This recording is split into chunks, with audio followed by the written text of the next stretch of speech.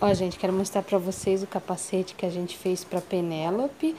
Ele, ele é feito de coco. Ficou legal. Um coco mesmo, ó. Daí aqui a gente cobriu dentro pra ficar bem forradinho. Vou tirar pra mostrar, ó. Forramos com EVA.